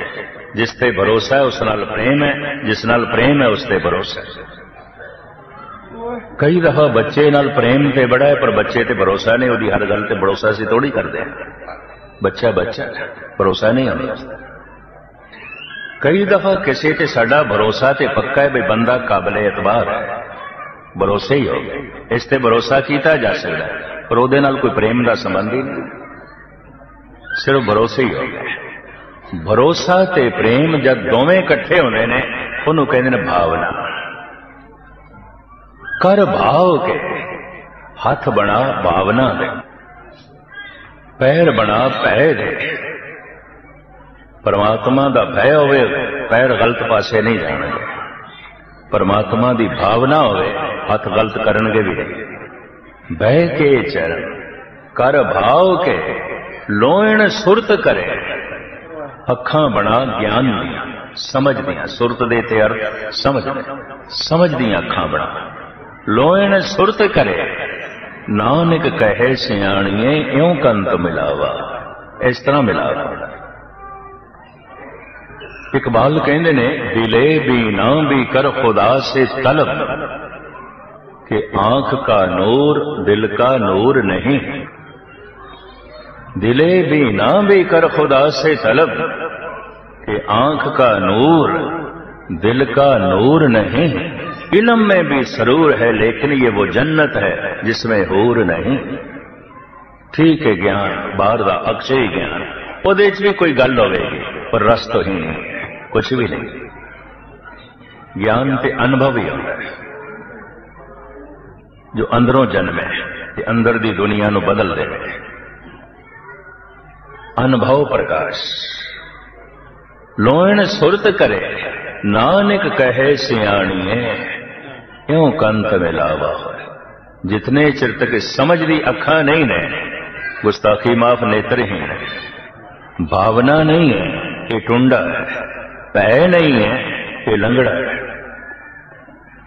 ਅੰਮ੍ਰਿਤ ਵੇਲੇ ਉੱਠ ਕੇ ਜਪਦਾ ਨਹੀਂ ਹੈ, ਇਹ ਤੇ ਗੁੰਗਾ ਹੈ, ਇਹ ਤੇ ਗੁੰਗਾ ਹੈ। ਪਰਮਾਤਮਾ ਦੀ ਬਾਣੀ ਗੁਰੂ ਦੇ ਬੋਲ ਸੁਣਨ ਲੱਗਿਆ ਅੰਦਰ ਉਤਸ਼ਾਹ ਨਹੀਂ ਪੈਦਾ ਹੁੰਦਾ, ਇਹ ਤੇ ਬਹਿਰਾ ਹੈ। ਇਹ ਕਿਤੇ ਸੁਣਦਾ ਇਹ ਤੇ ਬਹਿਰਾ ਹੈ। ਮਹਾਰਾਜ ਕਹਿੰਦੇ ਨੇ ਰੋਹਲਾ ਟੁੰਡਾ ਅੰਧਲਾ ਕਿਉਂ ਗੱਲ ਲੱਗੇ ਧਾਏ ਪਹਿਲਾ ਪਾਤਸ਼ਾਹ ਦਾ ਬਾਤ ਸਤਿਗੁਰੂ ਨਾਨਕ ਦੇਵ ਜੀ ਮਹਾਰਾਜ ਦਾ ਵਾਕ ਰੋਹਲਾ ਟੁੰਡਾ ਅੰਧਲਾ ਕਿਉਂ ਗੱਲ ਲੱਗੇ ਧਾਏ ਜੋ ਲੰਗੜਾ ਹੈ, ਟੁੰਡਾ ਹੈ, ਅੰਧਾ ਹੈ, ਬਹਿਰਾ ਹੈ ਗੁੰਗਾ ਹੈ, ਇਹਨੂੰ ਪ੍ਰਮਾਤਮਾ ਕਿੱਥੋਂ ਨਸੇ ਅੰਗ ਅੰਗ, ਭੰਗ ਰੰਗ ਰੂਪ ਕੁਲਹੀਨ ਨਹੀਂ। ਬੱਚੇ ਕੋਲ ਅੰਗ ਨਹੀਂ ਨੇ। ਹੱਥ ਹੈ ਕੁਝ ਨਹੀਂ ਕਰ ਸਕਦਾ। ਜ਼ਬਾਨ ਹੈ, ਨਹੀਂ ਬੋਲ ਸਕਦਾ। ਸਹਜੇ ਸਹਜੇ ਇਸ ਨੂੰ ਭੋਜਨ ਮਿਲਦਾ ਦੁੱਧ ਮਿਲਦਾ ਖੁਰਾਕ ਮਿਲਦੀ ਹੈ। ਇੱਕ ਦਿਨ ਇਸ ਦੇ ਹੱਥਾਂ 'ਚ ਤਾਕਤ ਆਉਂਦੀ ਕੁਝ ਕਰਨ ਲੱਗ ਪੈਂਦਾ ਇੱਕ ਦਿਨ ਇਸ ਦੇ ਪੈਰਾਂ 'ਚ ਬਲ ਆ ਜਾਂਦਾ ਚੱਲਣ ਲੱਗ ਪੈਂਦਾ ਹੈ। ਇੱਕ ਦਿਨ ਕੂਵਤ ਤੇ ਗੋਇਆਈ ਮਿਲ ਜਾਂਦੀ ਹੈ, ਬੋਲਣ ਲੱਗ ਪੈਂਦਾ ਹੈ। ਸਰੀਰ ਦੇ ਇਹ ਸਾਰੇ ਗਿਆਨ ਇੰਦਰੇ, ਕਰਮ ਇੰਦਰੇ ਕੰਮ ਕਰਨ ਲੱਗ ਪੈਂਦੇ ਨੇ, ਭੋਜਨ ਦੀ ਸ਼ਕਤੀ ਨਾਲ। ਵਿਕਾਸ ਸਾਰਾ ਭੋਜਨ ਤੇ ਖੜਾ ਹੈ। ਰੋਜ਼ ਰੋਜ਼ ਭਜਨ ਕੀਤਾ ਜਾਏ, ਅੰਮ੍ਰਿਤ ਵੇਲੇ ਉੱਠ ਕੇ, ਹਰ ਅੰਮ੍ਰਿਤ ਵੇਲੇ ਵੱਤੇ ਕਾ ਭੇਜਿਆ ਭਗਤ ਖਾਏ, ਖਰਚ ਰਹੇ, ਨਿਖੁੱਟੇ ਨਾ ਵਾਹਿਗੁਰੂ ਵਾਹਿਗੁਰੂ ਜਪਦਿਆਂ ਜਪਦਿਆਂ ਇੱਕ ਦਿਨ ਵਾਹਿਗੁਰੂ ਦਿਖਾਈ ਦੇਣ ਲੱਗ ਪੈਂਦਾ ਹੈ। ਇੱਕ ਦਿਨ ਉਸ ਦੇ ਬੋਲ ਚਾਰੋਂ ਪਾਸੇ ਸੁਣਾਈ ਦੇਣ ਲੱਗ ਪੈਂਦਾ ਹੈ। ਇੱਕ ਦਿਨ ਉਸ ਦਾ ਦਾਮਨ ਹੱਥਾਂ ਦੇ ਚ ਆ ਜਾਂਦਾ ਹੈ। ਇੱਕ ਦਿਨ ਐਸਾ ਮਹਿਸੂਸ ਹੁੰਦਾ ਸੀ ਕਿ ਪ੍ਰਮਾਤਮਾ ਦੀ ਗੋਦ ਵਿੱਚ ਬੈਠੇ ਹਾਂ ਇਹ ਸਾਰੀ ਤੌਫੀਕ ਮਿਲਦੀ ਹੈ ਭਜਨ ਨਾਲ। ਜੈਸੇ ਸਰੀਰ ਦਾ ਸਾਰਾ ਬਲ ਕੀ ਹੈ ਭੋਜਨ। ਭੋਜਨ ਨਾ ਮਿਲੇ, ਕੋਈ ਇੰਦਰਾ ਵਿਕਸਿਤ ਨਹੀਂ ਹੋਏਗਾ, ਮਨੁੱਖ ਦਾ ਸਰੀਰ ਮਰ ਜਾਏਗਾ। ਪਰ ਭਜਨ ਰੋਜ਼-ਰੋਜ਼ ਨਾ ਹੋਵੇ ਉਹ ਅੱਖਾਂ ਨਹੀਂ ਮਿਲਣਗੀਆਂ ਜੋ ਪ੍ਰਮਾਤਮਾ ਨੂੰ ਵੇਖ ਸਕਦੇ। ਉਹ ਕੰਨ ਵੀ ਨਹੀਂ ਮਿਲਣਗੇ ਜੋ ਸੁਣ ਸਕਦੇ। ਉਹ ਜ਼ਬਾਨ ਵੀ ਨਹੀਂ ਮਿਲੇਗੀ ਜੋ ਭਜਨ ਦਾ ਰਸ ਮਾਣ ਸਕਦੀ ਹੈ। ਇਹ ਵੀ ਮੈਂ ਅਰਜ਼ ਕਰਦਾ ਭੋਜਨ ਦੀ ਬੁਰਕੀ ਮੂੰਹ ਤੇ ਰੱਖਦੇ ਆ ਸਵਾਦ ਆ ਗਿਆ। ਵਾਹਿਗੁਰੂ ਵਾਹਿਗੁਰੂ, ਜਪਦਿਆਂ ਰਸ ਨਹੀਂ ਆਇਆ। ਕਿਉਂ? ਅਜੇ ਜ਼ਬਾਨ ਵਿੱਚ ਉਹ ਤੌਫੀਕ ਨਹੀਂ ਹੈ। ਵਰਨਾ ਵਾਹਿਗੁਰੂ ਆਖਣ ਦਾ ਵੀ ਆਪਣਾ ਰਸ ਹੈ। ਤੇ ਜਿਹਨੂੰ ਵਾਹਿਗੁਰੂ ਆਖਦੇ ਆ ਰਸ ਆਵੇ, ਸਾਹਿਬ ਕਹਿੰਦੇ ਨੇ ਪਰਮਾਤਮਾ ਦੀ ਰਸਨਾ ਤੇ ਵਸੇ ਪ੍ਰਭ ਜੀ ਬਸੇ ਸਾਧ ਕੀ ਰਸਨਾ, ਨਾਨਕ ਜਨ ਕਾ, ਦਾਸਨ ਦਸਨਾ। ਵਾਹਿਗੁਰੂ ਤੇ ਦੀ ਜ਼ਬਾਨ ਤੇ ਕਿਉਂ? ਇਹ ਵਾਹਿਗੁਰੂ ਆਖਦਾ ਰਸ ਨਾਲ ਵਰ ਜਾਂਦਾ ਹੈ। ਇਹ ਬਾਣੀ ਜਪਦਾ ਹੈ, ਰਸ ਨਾਲ ਵਰ ਜਾਂਦਾ ਹੈ। ਬਾਣੀ ਤੇ ਦੀ ਰਸਨਾ ਤੇ ਵਸ ਗਈ ਨਾਮ ਤੇ ਇਸ ਦੀ ਰਸਨਾ ਤੇ ਵਸ ਗਿਆ। ਜਿੰਨੇ ਚਿਰ ਤੱਕ ਵਾਹਿਗੁਰੂ ਵਾਹਿਗੁਰੂ ਆਖਦੇ ਆ ਰਸ ਨਾ ਆਵੇ, ਅਜੇ ਵਾਹਿਗੁਰੂ ਰਸਨਾ ਤੇ ਨਹੀਂ ਵਸਿਆ। ਤੇ ਜਿੰਨੇ ਚਿਰ ਤੱਕ ਰਸਨਾ ਤੇ ਨਹੀਂ ਵਸਿਆ, ਅੱਖਾਂ ਨਾਲ ਦਿਖਾਈ ਵੀ ਕੁਝ ਨਹੀਂ ਦੇਗਾ। ਪਰਮਾਤਮਾ ਨੇ ਦਿਖਾਈ ਦੇਗਾ, ਸੰਸਾਰ ਦਿਖਾਈ ਦੇਗਾ। ਕੰਨਾਂ ਨਾਲ ਸੁਣਾਈ ਵੀ ਨਹੀਂ ਦੇਗਾ, ਪਹਿਲੇ ਗੱਲ ਰਸ ਦੀ ਭੋਜਨ ਪਹਿਲੇ ਜ਼ਬਾਨ ਦਾ ਰਸ ਬਣਦਾ ਹੈ, ਖੂਨ ਬਾਅਦ ਵਿੱਚ ਬਣਦਾ ਹੈ। ਮਾਸ ਬਾਅਦ ਵਿੱਚ ਬਣਦਾ ਹੈ। ਹੱਡੀਆਂ ਦੀ ਤਾਕਤ ਬਾਅਦ ਵਿੱਚ ਬਣਦਾ ਹੈ, ਇੰਦਰੀਆਂ ਦੀ ਸ਼ਕਤੀ ਬਾਅਦ ਵਿੱਚ ਬਣਦਾ ਹੈ।